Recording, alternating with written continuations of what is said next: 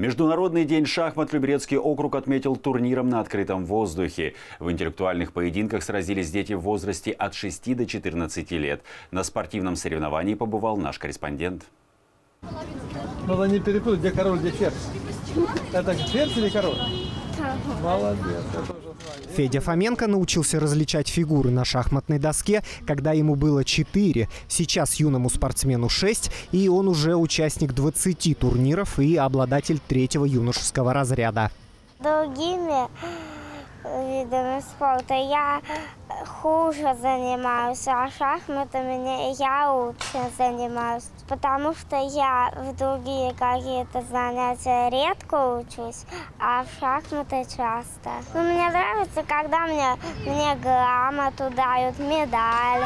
Медали не одной, по-моему, а кубка два, по-моему, грамот пять или шесть. Помимо наград, тренировки приносят и другие плоды. Баталии на черно-белой доске развивают внимание, усидчивость и логическое мышление. Родители юного гроссмейстера уверены, игра в шахматы – отличная база для будущей жизни успешного стратега. По словам мамы молодого шахматиста, интеллектуальная игра – занятие семейное. А у нас старший брат Лева играет в шахматы, папа немножко играет, и Федя за ними тянется, вместе с ними играет. И ходит, э, занимается в детский центр. А ему очень нравится, он постоянно хочет э, на турниры именно есть, потому что там соревновательная такая система. Кто хочет быть чемпионом мира? Поднимите руки. Вот, молодцы, ребята. Будущие шахматные короли встретились на праздничном соревновании возле Дома офицеров. 20 юных спортсменов борются за 6 наград в двух возрастных группах – до 10 лет и старше. В Люберце у нас шахматы на подъеме.